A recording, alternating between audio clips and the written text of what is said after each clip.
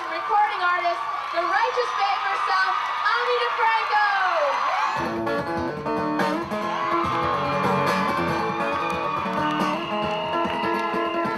My favorite sign today was the one that just said, trust women.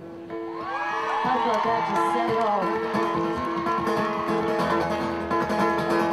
Trooper thinks I drive too fast. Pull me oh, over to tell me so. I say out here on the prairie and his speed is too slow. I miss Brooklyn, I miss my crew. Let's start over. I miss my cue. Guess I forgot who I was talking to.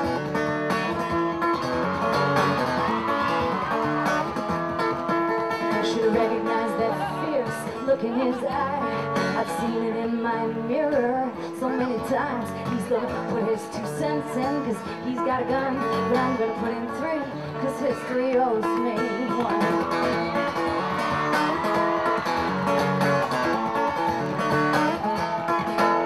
So I came out here to see some stuff for myself. I mean, why leave the telling up to everybody else? This may be God's country, this is our country too. Yeah, move over, Mr. Holiness, let the little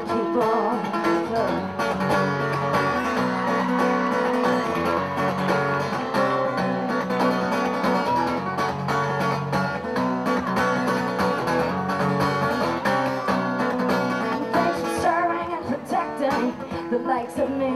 Yeah, thanks for the ticket.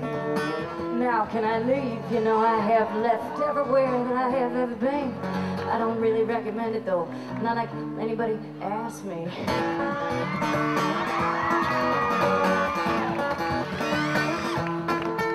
And maybe you and I will meet again someday. Yes, I've been known to come down this road. Maybe it's destiny. Then again, not.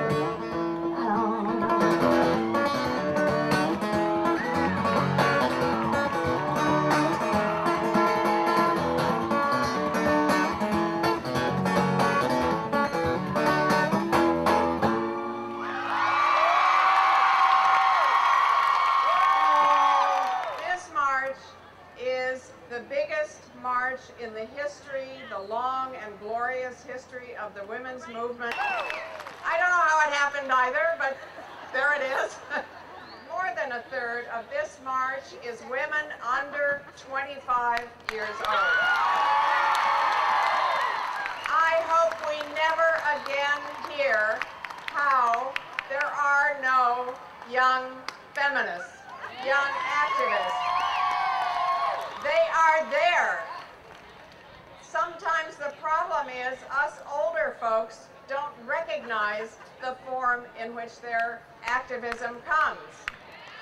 We thought we had to cover up our bodies.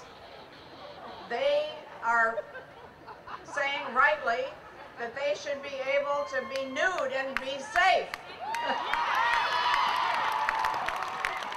they understand the price of no comprehensive sex education, of no emergency birth control. Their issues don't always sound like the issues of the past, and they shouldn't. We are including all of these issues now because they all stand for and are part of reproductive freedom. At a time when we are sending our young men and women to a foreign country to fight and die for self-determination, we are here today to say that we demand that right also to self-determine here, as well as for the women in foreign countries. We will not be gagged. We will not be silenced. And we will vote. Edward Said describes solidarity as one of the highest forms of love. And the power of our love shall overcome